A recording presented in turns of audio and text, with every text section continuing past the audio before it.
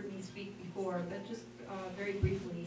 About six years ago, I got involved with an organization called Merdun that was bringing young women from orphanages in Gavar to a home in Echmiadzin um, because those girls were turning 17 and at the end of when they're living in an orphanage at the age of 17, the government stops funding them in the orphanages, and they're basically expelled from the orphanages, and many of them have nowhere to go.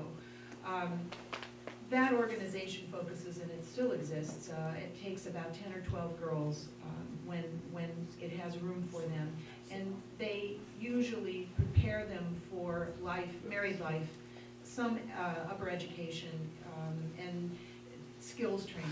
We realized, our board realized, um, we were part of that board for a while, and then we split off and formed a new board and formed Mer Hooys, because we realized that the need was so great in Armenia, we needed to open up another home.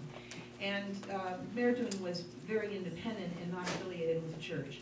We wanted our girls to get some background, some, some religious background, regardless of which church in Armenia Echmiadzin was there, and we felt it was important. So over the last couple of years, we've been collaborating with His, His Holiness and with the Western Diocese. And because I'm very active in the Western Diocese, I had a little bit of pull. So I was able to convince the diocese and Vehapar um, after many, many meetings with uh, our board members that how important it was that we collaborate together on this program. As a result, in September of this year, when Vehapar came to consecrate the cathedral, we met with him and we confirmed with him that he was going to um, be our collaborator. And as a result, he gave us a two-story facility that will house up to 50 young men. Oh, and that house has been complete, it's a home, it has been completely renovated by a benefactor from New Jersey who wanted to open an orphanage. Our home is not going to be an orphanage. Our home is going to be a home. Our home is going to bring young women, and we've recently decided with Vehapar that we wanted to start with 13, 14-year-old girls, 12, 13, 14, young teenagers, because we realized when they came at 17 or 18 years old, they're already in the bad habits. And as you're going to hear from Ara, human trafficking, prostitution, alcoholism, and domestic violence are huge in Armenia, and the young women are the most uh, susceptible victims because they have no hope. They have nowhere to go. They come from families that are so poor, those families cannot afford to take care of them. They cannot afford to train them in order to have them have self-esteem and be independent so that when they marry, they don't go into the same cycle that their families are in, which the money that comes to many of these families is, buys alcohol. And the husbands and the fathers and sometimes the mothers drink and then the children are beat up it's, it's a cycle. So our vision and our mission plan is to bring girls from, uh, from outlying areas and from areas that are actually right in the outskirts of Yerevan, bring them into our home, and they will live there. They will be taught how to take care of themselves. They will be learn to become independent thinkers. We, um, we want them to understand that this is not a handout. We want them to understand that they are not entitled. We want them to understand that this is a gift, and they're being given the gift of hope, and they have to earn it. And when they turn 17, they will go to school, uh, government-funded schools, and when they turn 17, we will keep them there, and then we will do the second phase, which will be to send them to either a upper division secondary education, college if they want to. Many of the young women over there go to school to become teachers. We will, some, a couple of the girls from Merdun have, are, are lawyers.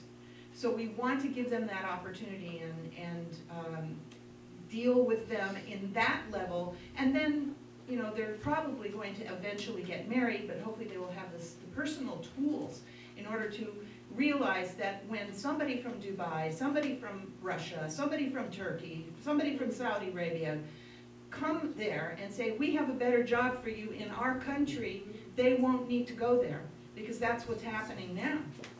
And you know what kind of job they're being offered over there. So that's our mission. The home is, the reason I speak in the future is because we have taken our time not to open the program until we have all the pieces in play. And I'm so excited that just as of a month ago, We were able to get those last pieces together. A director has been hired. He's ordered furniture for fifty kids. Um, he's working on hiring a staff. He's prepared a budget for us. All of the money that we are raising here in the United States, we are the funding organization now. It will all be administered, it'll all be administered through the mother church. Vehapar will supervise the program. We don't have to worry, are you doing what you're supposed to be, you know, are you spending the money right? We're sending it to Vehapar with the understanding that our money will fund that program and he will oversee them. This is the safest way, because when you send it directly to NGOs in Armenia, you don't know where your money goes. And when we did have some concerns about that when we were involved with Merdun. So um, this is an organization that gives hope to young women. Eventually, we are going to add a program for men.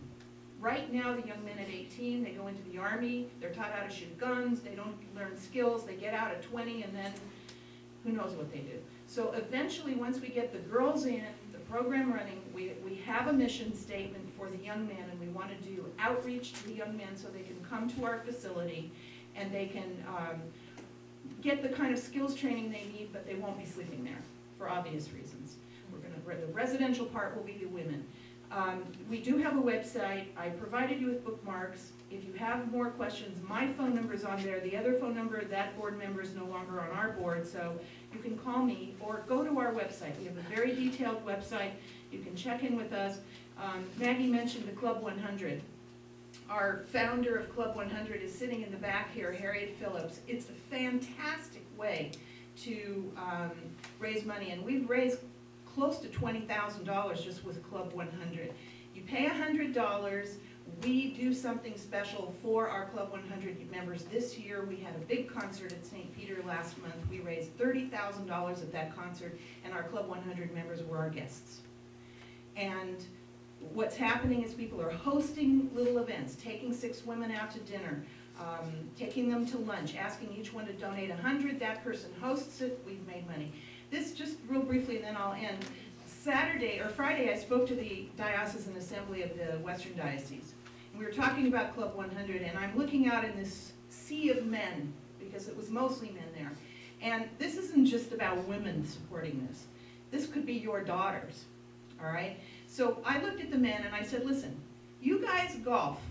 Go out, get a group of people to play golf, pay $150 as your golf entrance fees, have your host, or pay, pay 100 have your have somebody host the entrance fees, and those $100 come to Mer Hooys, and you have a good day of golf and have a beer afterwards.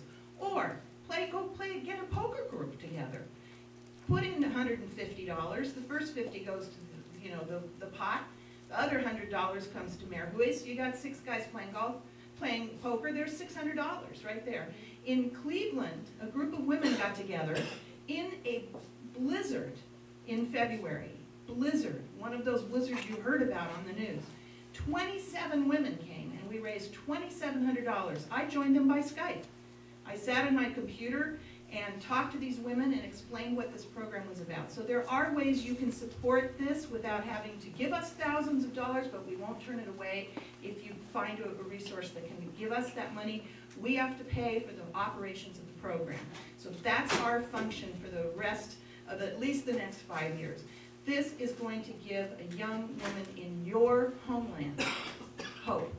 So we hope you will spread the word, we hope you will participate, we hope you will contact us, and we hope that you will give hope to someone else. Thank you.